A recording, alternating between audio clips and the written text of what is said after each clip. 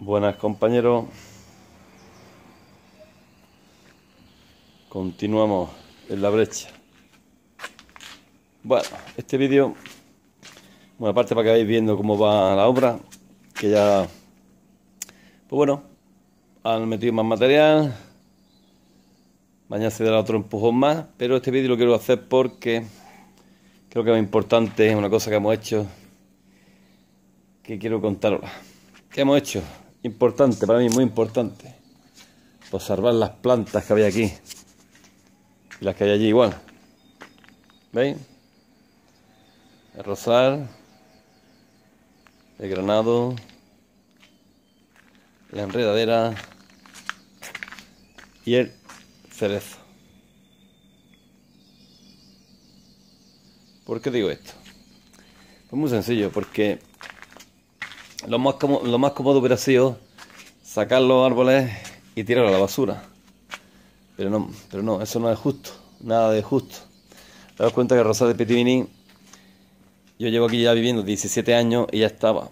Más los otros años que llevaría la casa hecha ya, que esta casa llevan de, son antiguas, pueden tener perfectamente 50 años. Pues la planta tenía unos cuantos años ya, o va a terminar tristemente en un cubo de basura. O sea que os recomiendo que cuando hagáis una obra o algo, salvéis las plantas. Porque luego siempre hay sitio donde podéis ponerlas, ¿vale? O bien un tiesto, o bien se la podemos regalar a algún amigo, o bien, como he pensado yo, incluso, bueno, yo tengo la suerte de tener un pequeño terrenillo, los pongo allí, o incluso pues poner en algún sitio, o en La Vega, en eh, algún sitio donde haya bastante agua siempre, al lado de una sequía, al lado de un sitio donde sepamos que el árbol no va a morir de sed y podemos salvarle la vida. ¿Vale? Pues nada, tan sencillo como eso. Simplemente ese vídeo es muy corto. Simplemente la obra va hacia adelante, como estáis comprobando.